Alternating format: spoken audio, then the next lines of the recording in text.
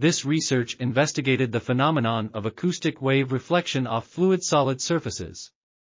It focused on measuring the effect of material physical qualities on oblique incidence acoustic attenuation across a wide frequency range.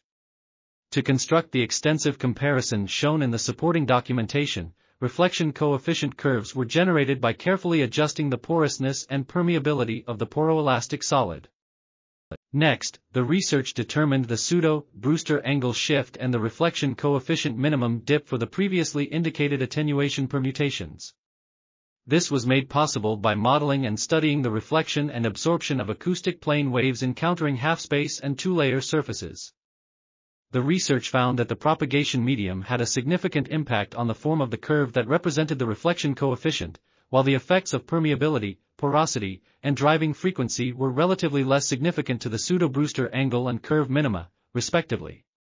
Additionally, the research found that as permeability and porosity increased, the pseudo-Brewster angle shifted to the left, proportionally to porosity increase, until it reached a limiting value of 73. This article was authored by Kaveripakam Sathish, Monia Hamdi, Ravikumar Chinthaginjala Venkata, and others. We are RTCL.TV, links in the description below.